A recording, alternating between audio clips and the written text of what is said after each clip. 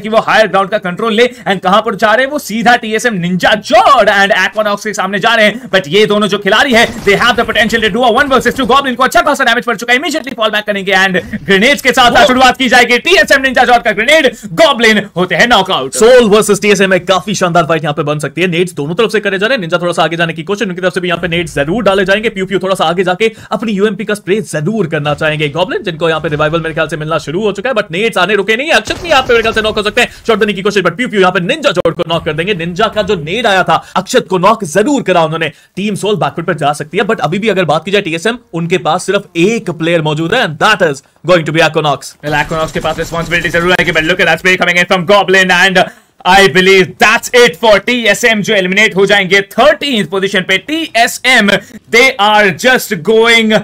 लेकिन उनको और मेहनत करना पड़ेगा टीम शो के लिए अच्छी शुरुआत होती हुई टीम मायावी के नकुल को इसी बीच कंफर्म किया जाएगा टीम